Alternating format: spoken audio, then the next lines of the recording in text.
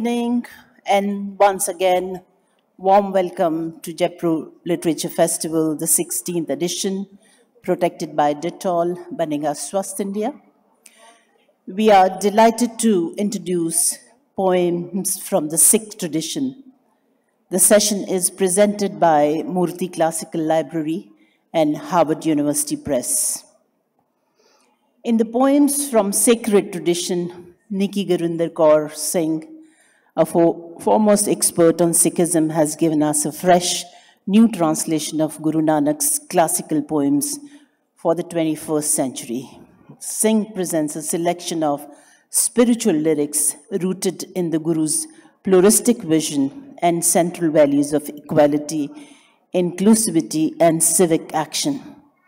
In conversation with celebrated author and translator Navtej Sarna, she discusses the core values that shaped both the translations and the original texts that form the groundwork of the Sikh worldview. Nikky Guninder Singh is the chair and Crawford Professor of Religious Studies at the Colby College in USA. Her interests focus on the poetics and feminist issues. She has published extensively in the field of Sikh studies. Her books include poems for the Sikh sacred tradition and Janam Sakhi paintings of Guru Nanak. Navtej Sarna has been a professional diplomat for nearly four decades and was India's ambassador to the United States. He has recently authored the novel Crimson Spring. His earlier books include the novels Exile and We Weren't Lovers Like That, the short story collection Winter Evenings, and several works of non-fiction. And now I invite Sudha Murty, founder of Infosys Foundation. She was the first woman engineer to start her career at Telco, now Tata Motors, a prolific writer in English and Kannada her books have been translated into major Indian languages and have sold over 30 lakh copies around the country. Please welcome Sudha Murty ji on stage to introduce Nikky Guninder Singh.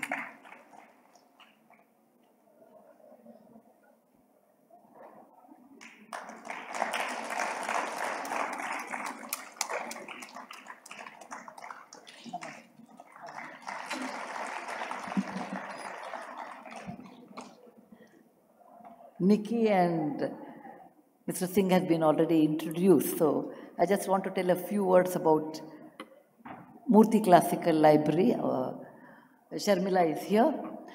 Uh, it started by my son Rohan Murty, and while discussing with him when he was young, you know, I will I used to talk about the original Sanskrit Ramayana and tell that in Kannada and in English, and he said there is no translation. I said there are many. Then he asked me, there may be many poems, many plays in India. I said, yes, of course. For, for example, Kalidasa's, all dramas and poems, both I talked about it. He said, but I want to read them because in school, he always read Shakespeare and other things. And he said, there's nothing wrong in reading Shakespeare. He was a great drama, drama, you know, dramatist and a great writer. But it's very important to know our own people in our own country, there is so much classic books are there, so many languages are there, and we never introduce our children to our own culture. And that he felt when he was young. I said, Beta, when you grow up, no, you have a chance to do that. I told him.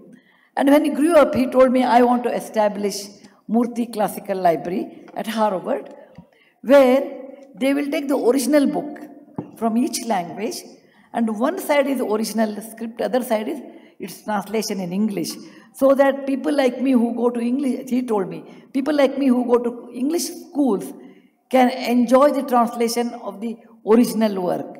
The translation may reduce 10% or 5% depending on the translator's capacity, but at least 80-90% we can enjoy. And he did that. Of course, that the Sharmila is here, Harvard Press is here, and the Harvard Press people were uh, taking charge of that. In the last nine and a half years, they have come out with 40 books. I'm extremely happy to say 40 Indian great authors' books have come into English language, modern English translation. And it's a great honor for me that it's not because he's my son, he is connecting the roots of India to the other parts of other, other Indians. We have languages in every language, we have every state, every state has a language. Every language has fantastic classical books and they are worth studying irrespective of, of their, their time, you know, they are evergreen. Like Shakuntalam in Sanskrit is always evergreen. In this aspect, he has done, uh, or the Harvard uh, uh MCA Lab board has done 40 books with um, uh, Sindhi, uh, Punjabi, then Kannada, Telugu, uh, Bengali, and many more. I had the privilege and honor of meeting Mr. Singh in 2015. That time it was uh, Bulle Shah, I think. And it's, it's our honor that Nikky Kaur Singh is here, Mr. Singh is here. They are, she's a great translator and I have a special affection for her because she is the female translator. Most of the time, all these books you have male translators. Because when a woman translates, not only there is the translation, there is a kind of poetic touch, there kind of a softness will be there. And that I, can, I think you readers should tell how beautifully she has translated. And Mr. Singh is a great uh, Vidwan in Sanskrit, we call, uh, extremely learned person, apart from a great diplomat. It's an honor, sir, that you are here and ma'am is here, and we are all here to enjoy your conversation. Thank you very much for giving me an opportunity to talk about MCL Live Library. And I would like to request the next generation, please respect our culture through language. Please read these books, which gives you an insight of India's minimum 2000 year history and the, and the big canvas of culture and the depth of each language, and that makes India a great country. Dhanyawad, Jai Hind. Thank you, Sudhaji, and thank you for supporting us. This session is presented by the Murty Classical Library and Harvard University Press.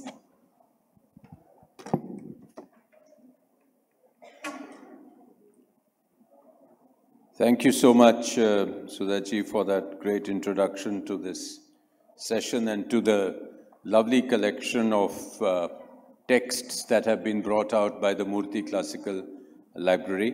Uh, beautifully brought and universalized.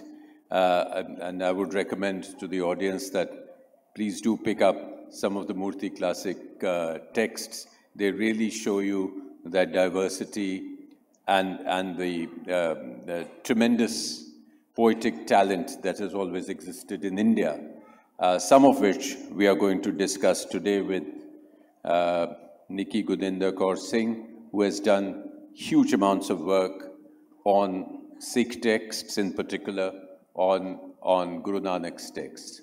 Now, Guru Nanak is all known to you, all of you, as the founder of the Sikh religion, but today we are going to go a little more into the depth of his writings. We are going to go more into how his writings have been presented in the Guru Granth Sahib, which is the holy book uh, of the Sikhs and is a well-known text.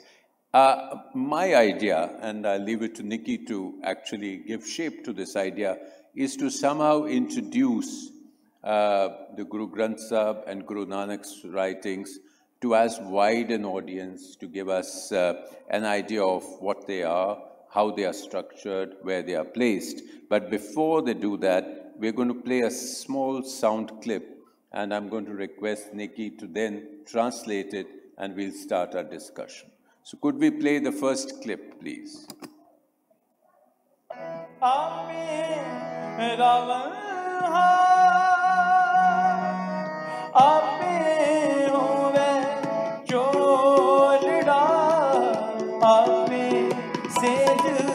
ಅಂತಹ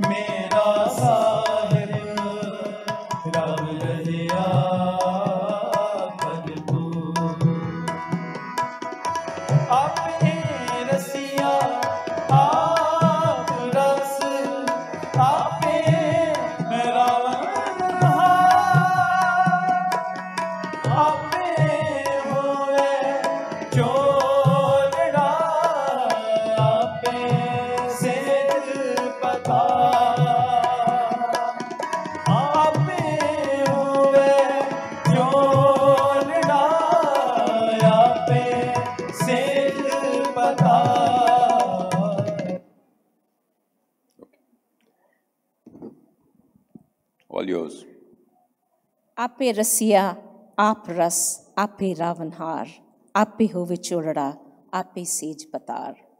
this was Guru Nanak from Rag As, from the first one, Rag Siri. The translation. You are the enjoyer, you the joy, and you are the ravisher too. You are the bride in her dress, and you the groom on the wedding bed my sahib is colored in love. Rangrata Mira Sahib. My sahib is colored in love, fills everyone with joy. You are the fisherman, you are the fish, you are the waters and the net. You are the weight that holds the net. You, the lost ruby, swallowed by the fish. You are myriad colors. How my lover glows, my friends. So you get the gist of Guru Nanak, the poet, highly aesthetic. The divine one is everything. You are the bride, you are the bridegroom, you are the dress, you are the wedding bed, you are the fish, you are the fisherman, you are the weight that catches, and you are the ruby that has been swallowed by the fish. Everything is one. You, you, you. Tu hi, tu hi, tu hi, tu hi. So this is Guru Nanak, the founder of the Sikh tradition, born in 1469. It's a very rich milieu, very rich landscape. Hindus, Muslims, various schools. It's not just Hindus, one school. Islam has come into the country. There are Buddhists, there are Jains, there are Naths, there are, there's a whole variety of people, uh, very rich, lots of languages, lots of cultures, lots of ethnicities, lots of philosophies. So he has inherited that. And in that milieu, what he says is there is one being only, Ik Onkar. That is a foundational sentence. That is a foundational, what should I say, the philosophical concept. And the entire Guru Granth, that's what you wanted to kind of contextualize with, is what, 1430 pages? And in a way, the 1430 pages are an interpretation, or you might want to say a reiteration, or you might want to say an exposition of this basic message of oneness. And then 1430 pages covers a wide range of regions. But is it all, it is not all written by Guru Nanak? No, not at all. So there are about a thousand hymns of Guru Nanak in the, um, if I'm right, uh, in the Guru Granth Sahib. Absolutely. And what is the rest of it? Why don't you tell the audience? Very good. Um, it's, uh, there are six gurus presented there, but then there are bhagats, Hindu bhagats and Sufis. So there are almost 40, 40 some authors in the Guru Granth Sahib. Can you believe that? 40 authors, 40 some. But everything has been very systematically done. Guru Nanak is a foundational person, and he's sort of, his poetry is the blueprint, his philosophy, his style, and then everything kind of harmonizes with it. And you have 31 raga chapters. That's very interesting. And that's a So framework. all, all the hymns in the Guru Granth Sahib, except some, are set to music. exactly. So, except So that is why you have the image of Guru Nanak when he's on the road, because Guru Nanak did four udasis. Uh, many years, he was on the road for about 24, 25 years, and he's always seen in the depictions with Mardana with a rabab, who was a Muslim Rababi. So that means when, when he uttered the Bani, or the, or the, what we see as these hymns, it was to music. Absolutely. So it's very, very interesting that the beginning, the origins, it's the Bhai Mardana, Muslim playing the rabab and Guru Nanak bursting into poetry and poetry of the Divine One. So there's a real kind of a connection there, a real harmony between the song and the music. And that's why, as you said, And is that why Kirtan is sung? Yes, that most of it is sung, but also Guru Arjan, the fifth Guru who compiled the Guru Granth Sahib, he himself was a great musician. And, and this raga framework was kind of on the cultural landscape. We have Jayadeva's Gita Govinda set in the rags. And so everything is framed in the 31 rags. But again, we need to keep in mind the Sikh tradition was not just classical rags. It wasn't just, you know, people who are very kind of elite musical ears. It's, it's, it's a vernacular language that Guru Nanak is using, the local language. It's not Sanskrit, it's not Persian. It's a local language and lots of music, what was, what was coming from the Sufis, what were the bards were singing, the local tunes, folk songs, all that is a Well, part that's, that's uh, what you mentioned because the bhaktas are there. So this is one of the earliest collections of Kabir's uh, poetry in the Guru Granth Sahib. This is the earliest collection of Sheikh Farid's uh, poetry in the Guru Granth Sahib. So uh, I'd like you to expound on the fact that despite the different authors, uh, is there is a there is a certain consistency of message.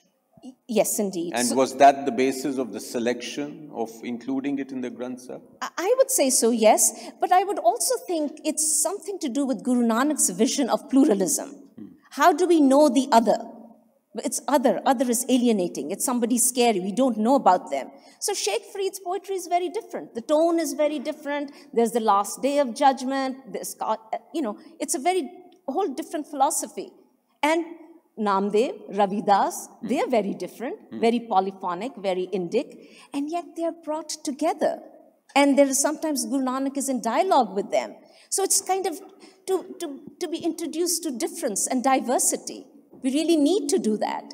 So this is quite remarkable that the Guru Granth, the scripture of the Sikhs, includes Hindus, Muslims, and Sikhs, and every each of the authors is identified. So it's not just everybody's there, it's kind of a hybrid text, you know. And that's what the colonialists were understanding. Oh, it's everything is together, so is it a part of Hinduism? It's a part of Islam? No!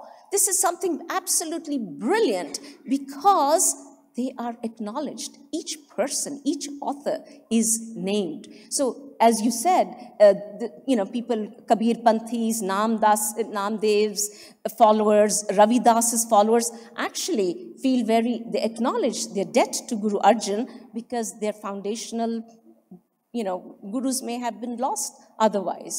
But uh, tell me, Nikky, we, um, in, from what we read on the Guru Granth Sahib, there is no reference to Guru Nanak's own life or, or his own biography or where he actually traveled. All that we know is from the Janam Sakhi, something on which you have done a huge amount of work.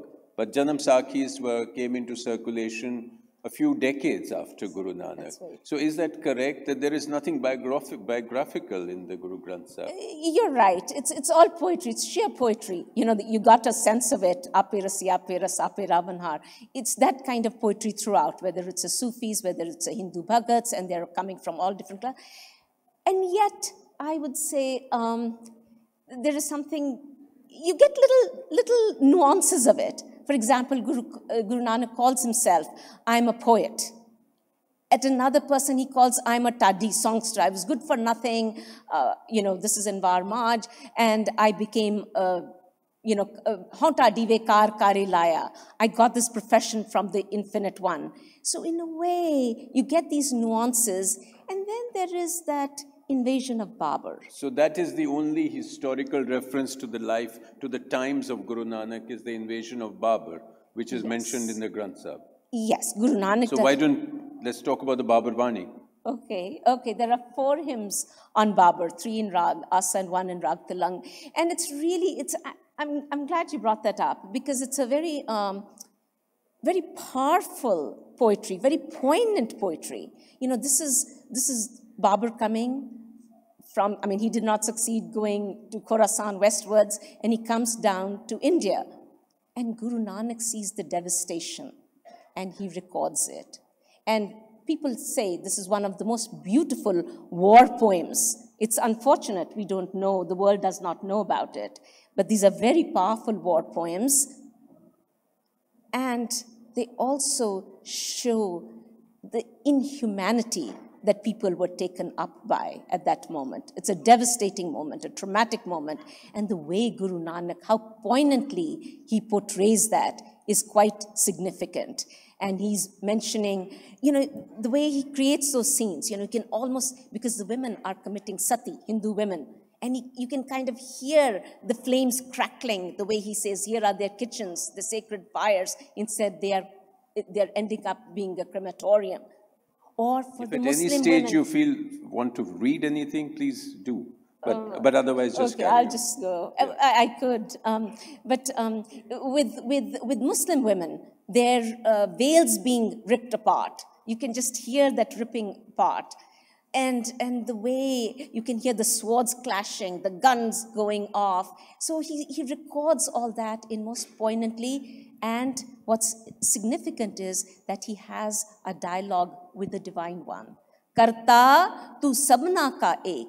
You creator, you belong to all of us equally. Thank you, dard na aaya. Don't you feel their pain? I mean, he's asking the divine one. So it's quite remarkable. There's a lot of courage here. You know, this you're supposed to bring justice to the world. So you are a part of that too. You you must face that. So it's really kind of a, um, a, a dialogue with that. But one insight which is overlooked, and it's very, very significant to Babur, Babur's, you know, we think of Babur, Muslim coming to Hindustan, devastating Hindustan, Hindustan literally Hindustan. You know what Guru Nanak says?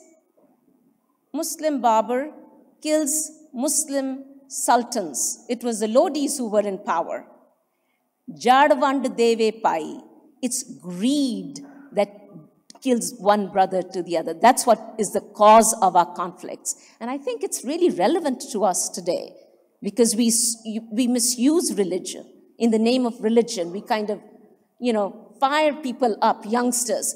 And what is going on is conflict within ourselves, our psychological problems, our human greed, our arrogance, our territorial expansion. Babur didn't, couldn't succeed there. That's why he went to India. It was not to conquer Hindus. It was his territorial expansion. He wanted the wealth of India. Simple as that. So the, the important point that uh, you what, what I'm gathering from what you're saying is that it was not one religion against the other, it was the oppressor against the oppressed. Beautiful. And, and uh, you know, whether the oppressor was an invader or the oppressor was, uh, was the, the middleman, uh, uh, you know, like the Qazi or the Pandit, who were coming in the way of worship uh, by uh, promoting ritualism, etc. So he was against the oppression of any kind. He was in favor of, you know, everybody being able to worship directly. Actually, more than worship, to have a direct communication with the Divine One. That's why ape rasya ape.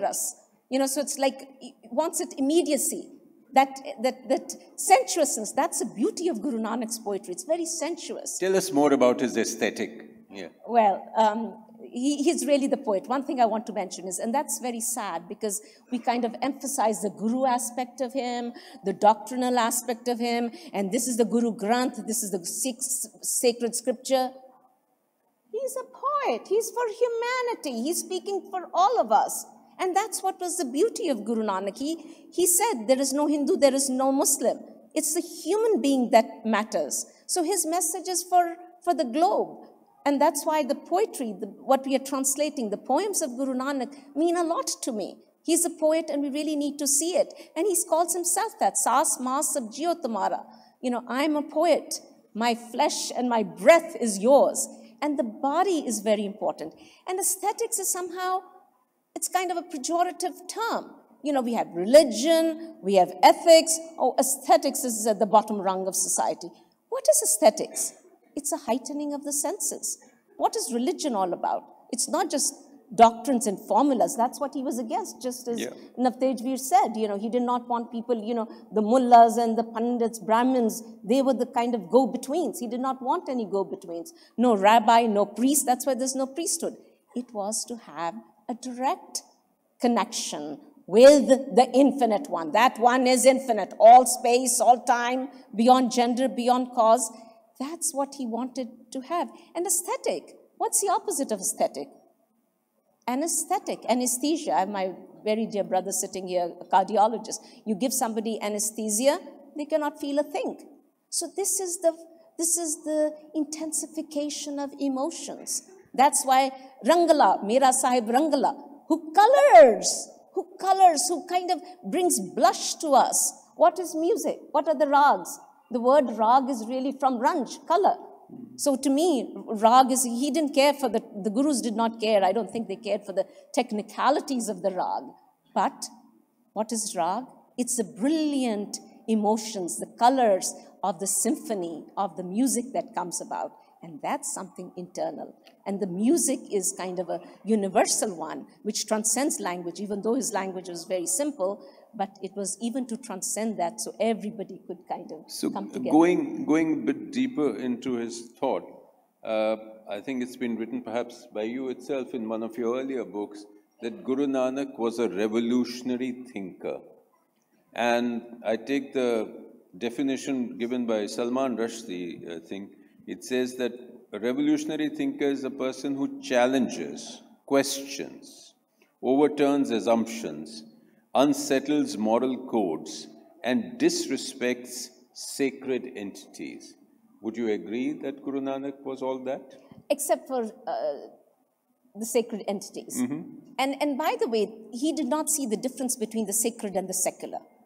Because this is, I think that's very kind of that dualistic thinking. Ye ji religion hai or ye nahi hai. That's, I think that's where he's challenging. And that's absolutely, the rest is absolutely right. And I have, that's quotation from my, what I quoted Rushdie. And it's always questioning. And Guru Nanak, that's where I think he's a very modern thinker. Puch, gur puch. I was giving a talk somewhere in Delhi, and it was even the first day. Don't just take things, use the language of love, write in love, write about love, question, and then write it down. So to question is very important, just not just to kind of imbibe and take things, but and that was Rushdie's. Uh, yeah, given- and again, you, you wrote in your preface that I want to rediscover the first Sikh from my perspective of a Sikh woman academic located in a global 21st century world.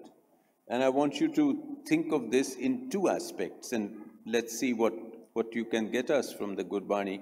One is Guru Nanak's thought on women, and the second aspect is Guru Nanak on environment. Okay. You said he's a modern thinker. Does he address these and how? He- He does. I, I've called him a feminist. I mean, whatever that word means. Uh, I think he grew up with his sister, so he was very close. He understood medieval India. Things were not good for women. There was parda, there was sati. He was against all this, um, these kind of confinements. And but I want to say that was for all of humanity. He found the Shudras, that was very, you know, anybody mistreated, anything inhuman, anything that kind of created these hegemonies, he was against that. And that was very much there. So he's really a revolutionary because he's challenging what's there. And he talks very directly. You know, what is all this facade for? Why does a priest have to be fed before?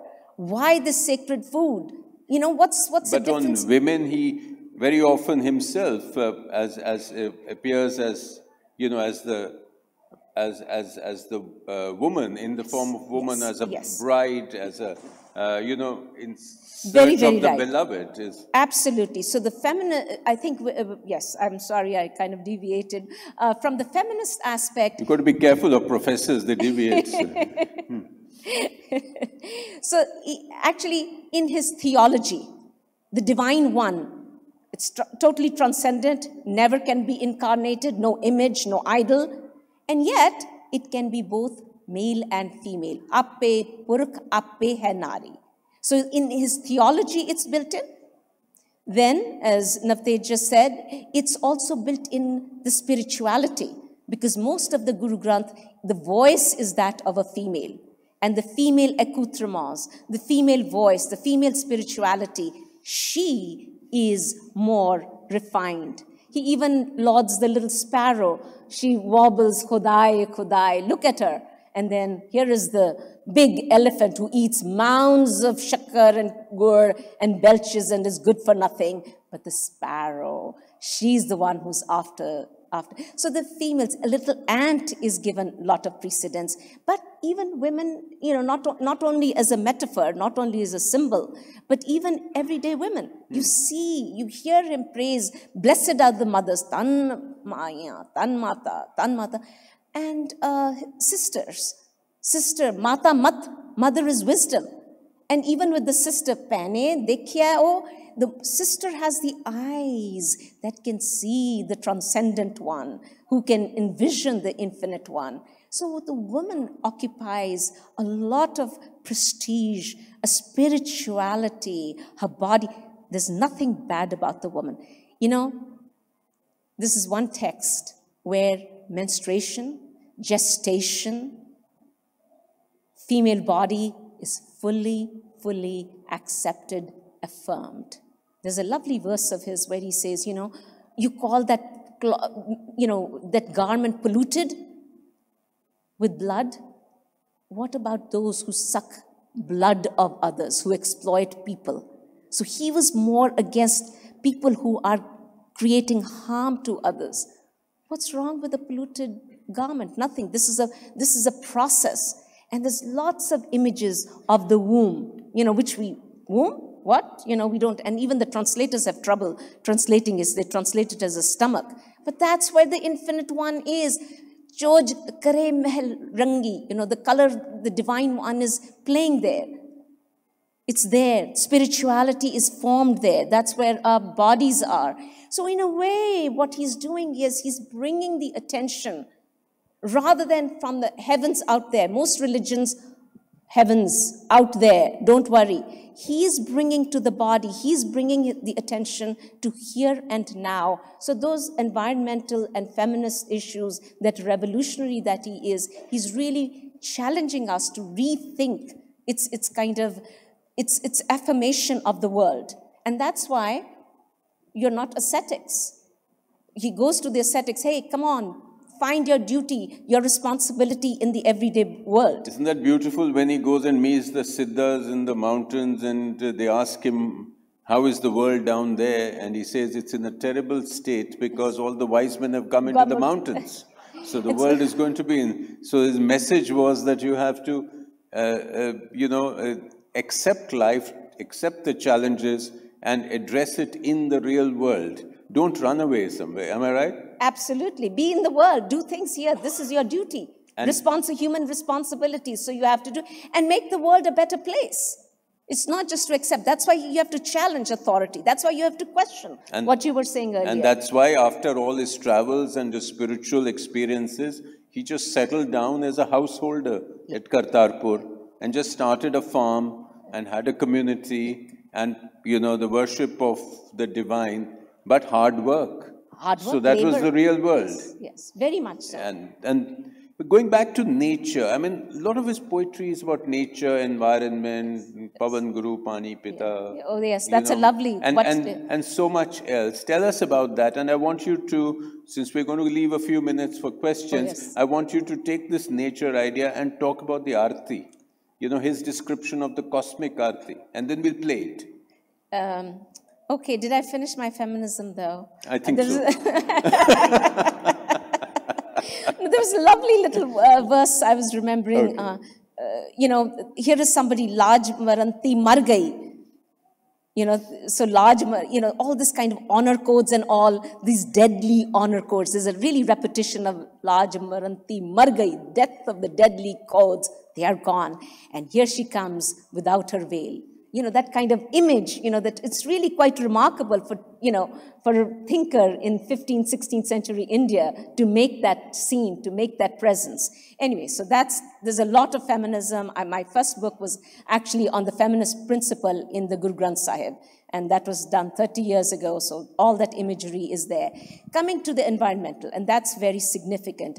And, you know, because the infinite one is everywhere wondrous one. You, you, you heard that the initial poem that we, uh, we read you know. You are the fish you are the fisherman you are the waters you are you're everything. So everything permeates with the infinite one. And the the um, scene that Navtej just brought up that's the the epilogue of the japji. Pavan guru pani pita. Pavan guru pavan air is the guru. Pani water is pani Pita is the father. Mata Tartamahat. The mother is this planet Earth. Divas Rat Duidai Daya Khela Sagal Jagat.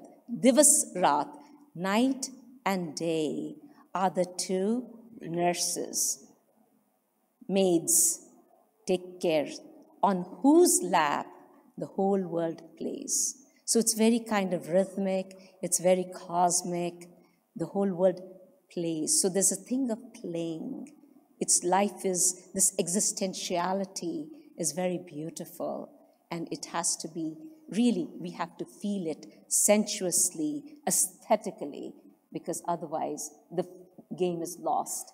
And that's, that's really his message. So everything permeates with it. And uh, this is evening time.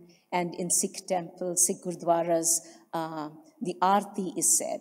And you know, again, what Guru Nanak, the poet, is doing is, as I said earlier, he takes the symbols, the metaphors, what were present there, the tropes that were there. So Arti, that we know is very beautiful. I've seen it in Varanasi, and in Hindu temples, where you have a platter and you have lamps and incense and fruit and flowers and so forth. So Guru Nanak takes that metaphor but shifts it to the whole cosmos. So, what is it? The skies become the platter, and the sun and the moon are the lamps. And usually it's the sun or the moon. Ravachand, either we have the day or the light. But on this platter, a dish, both of them are present. And I will read you the arti, if I can find my um, the sky is a platter, our lamps the sun and moon. Pearls of starry galaxies shimmer around. Wafting sandal scents are incense. The breeze is our fly whisk. All vegetation are flower offerings to you. What a worship. Your worship breaks the cycle of birth and death, the unstruck sound, a silent kettle drum and it's a very beautiful and then it goes on sab jot hai soy. There is a light in all and that light is you and by that light everybody is lit. So this is guru nanak the poet. And you know plato he banished the poets from the republic. Why? Because they were very emotional. Today we are parched for empathy. We need emotions and we need poets. And Guru Nanak was a poet par excellence. So, can we play that second link?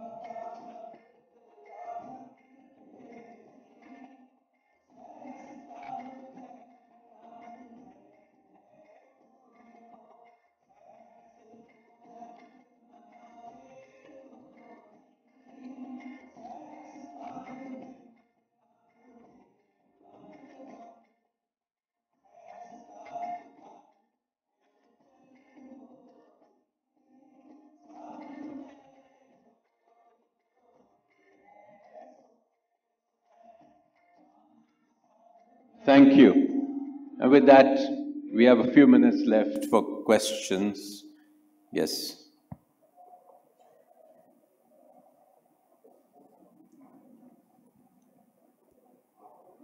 So, am I audible? Yes, yes, carry on. A small uh, suggestion or a question. Uh, I'm a Punjabi who grew up in Delhi and I don't understand Punjabi very well. Suggestion to you and to ma'am at Murty Classical Library. These books have been translated only in English. Can these be translated in Hindi as well, which could reach out to a wider audience within India? I'll leave that to Sudhaji. Yeah. Technically, I leave that to my son, who has started Murty Classical Library of India. However, if the market is very good, then it is not he. I might like to do that one because he will translate the classics in charge of that. But if the market, market in the sense, not in terms of profit, in terms of many people would love to read that, you know, with the bare minimum cost. I would like to do, but I want that assurance because it should not happen that I will. will All right. No, I think the point, point is well taken, and I'm sure it's gone into the uh, Infosys uh, larger software, so we'll leave it to that. Okay, one question that side, please. Yes.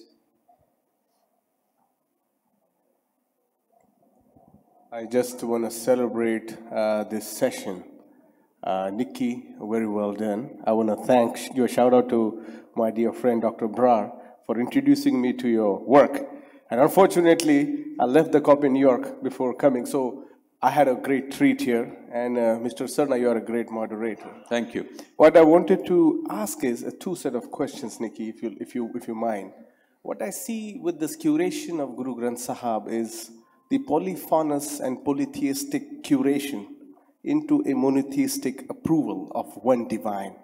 How does that kind of a contradiction work? And the second question is what I see with Mardana being a Dalit Muslim, Kabir, Sant Ravidas, those ideas kind of penetrating right into it. It really becomes a assault on Brahminic values of wretched caste system. And that is really the kernel that could unite what erstwhile north-south divide is. The values that are propounded within the Sikh tradition are something that really could cement that. Yet today, what we see, somebody espousing a certain philosophical base has often has to subordinate themselves to a pantheistic Brahminic subordination. You have to be a junior to a Brahminic project of India. Otherwise, you are not approved. And that's seen whenever a Sikh tradition is revived. It has to either be a junior brother, cannot exist on its own. If it does, then you are called Khalistanis and so forth. And how do we also resolve those spiritual and political connections here? You want to take that? No, it's yours. No, I, it's, it's really, really. I'm just the moderator. I, I love that question, Suraj, and we really need to do things about it. And I don't know because, and that's why I can just tell you what I'm doing is I want to show the world the poet Nanak because he is, his message is very important. His message is of equality, his message for environmental justice, for against gender bias, against any kind of fanaticism, and against this caste, uh, caste system. I mean, I really, I just did a paper on comparing caste by Wilkerson and Guru Nanak. Guru Nanak was saying what Wilkerson say, is saying today, that whole notion of empathy, Guru Nanak said, you know, 500 and some years ago. So we need to remember him. And that's something we don't do. And that's why this Murty Classical Library is very important. I'm sorry, but I also want to spread it around the world. And the English translations that I'm doing are very simple because the original is very simple. And what people have been doing is, I really mean it. And three words that are, have really created havoc in, in the translations is the word God, Lord, soul. These are three tiny words and they totally distort the message of Guru Nanak and, the, and his successor gurus. Because what does God do? It creates that kind of a monotheistic out there. Whereas this one is between you and me and me and you, there's no difference. Where does God come? God is this it's, it's kind of a Christian notion, a Judeo Christian world. It's the creator is out there. So we are not doing anything down here. So we are not taking care of one another. All we are focusing is out there on God. Guru Nanak is not saying that. That one is in you and me. So we, I have to make sure that you are at par with me.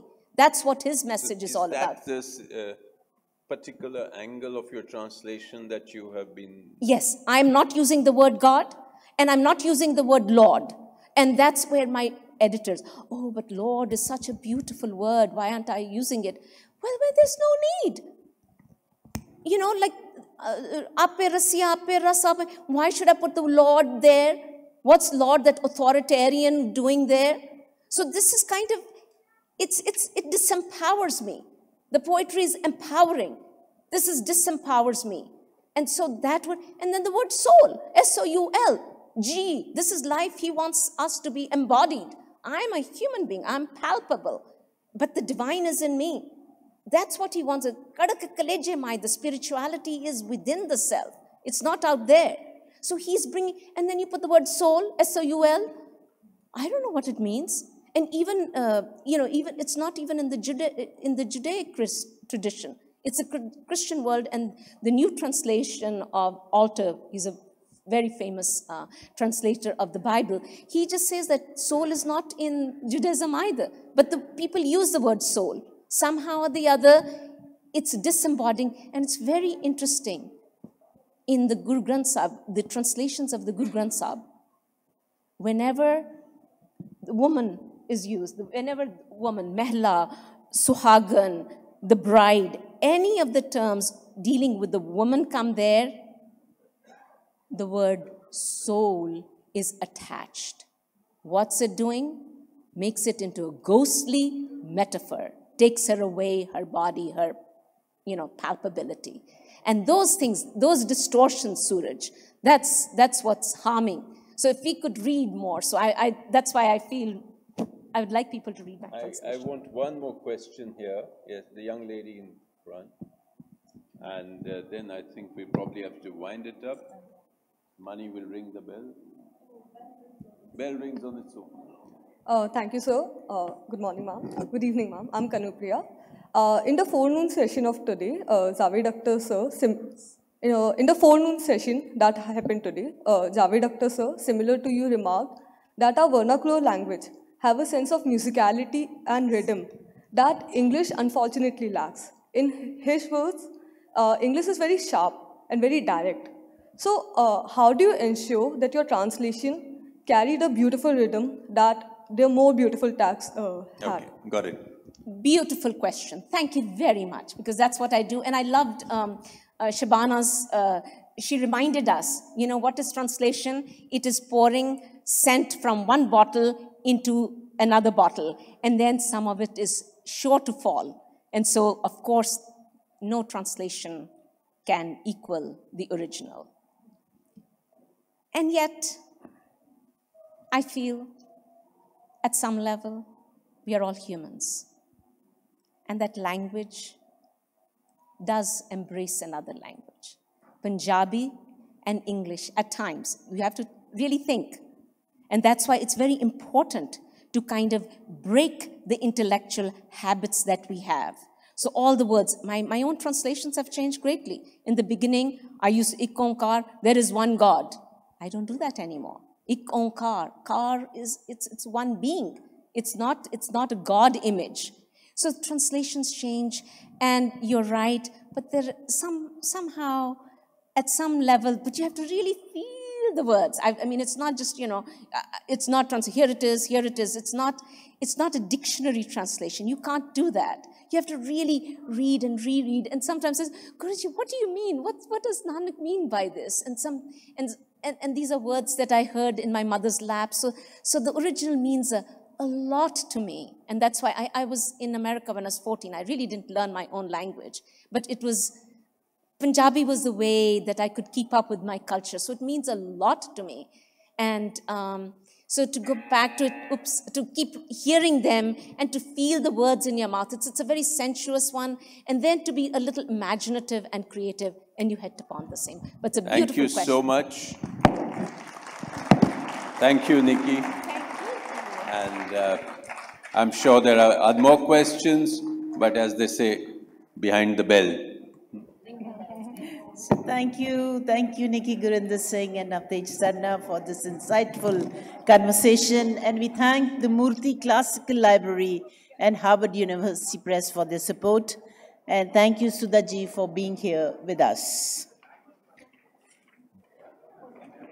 I would just like to thank our sponsors at the end of the beautiful day ABP, Amazon, Artex, Ashoka University, Blue One Inc., Bank of Baroda, British Council, Culture Island, Diageo, DIPR, DLF, EazyDiner, Element There